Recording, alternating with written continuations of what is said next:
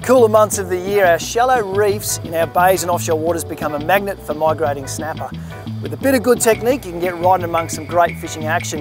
If you're new to soft plastics fishing, I'm about to start an afternoon session and I'll show you a really easy way to help you play with your local snapper. As the sun gets lower in the sky, I'm starting to look for a good place to start fishing.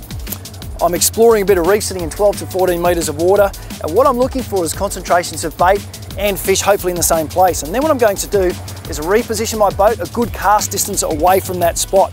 The reason being I don't want the noise of an anchor, or in this case an electric motor on the front of the boat making noise to spook those fish. Find them and then get a good cast distance away and you're ready to cast a line. To start the session this afternoon, I'm going to experiment. I'm going to experiment with sizes and styles of soft plastics and also my jig heads. I've got a couple of styles of plastics. I've got a minnow style and also paddle tail and curl tail grubs. The real key to catching your fish on soft plastics is getting the weight of your jig head right. Because we're only in 12 metres of water, I'm going to start out light, a quarter of an ounce. And a very key part of getting fish to bite is to get your soft plastic rigged straight on the hook. You really want it to swim like it's designed to do. You really need this soft plastic to be sitting straight in every dimension on the hook. That way it's going to swim like it's designed. It's going to look realistic in the water as it's going to make the fish come along and want to chew on it. From a stationary boat, there's two predominant ways to fish these soft plastics. The first is a more active way. Got a current which is pushing forward of the boat. What I want to do is boat being held stationary by my electric motor, I've cast the plastic as far up the current as I can then I'm engaging the reel and I'm going to sit there and watch my line. This will gradually sink under a tight line.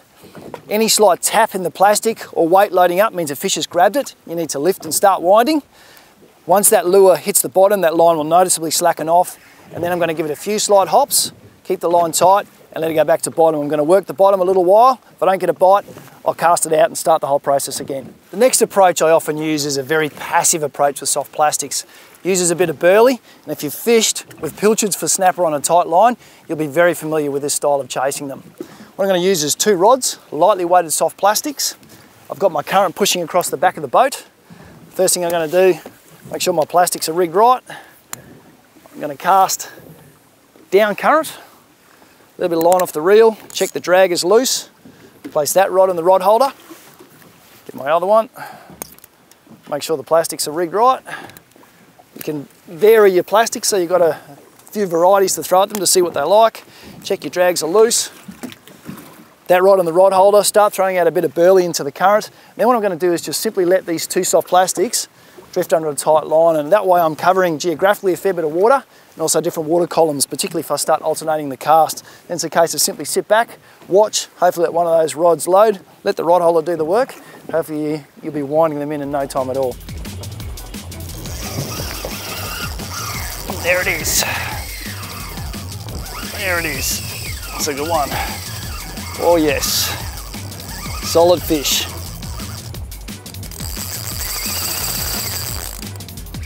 Is what we do this for. This is exactly what we do this for. It is so much fun. Oh yes.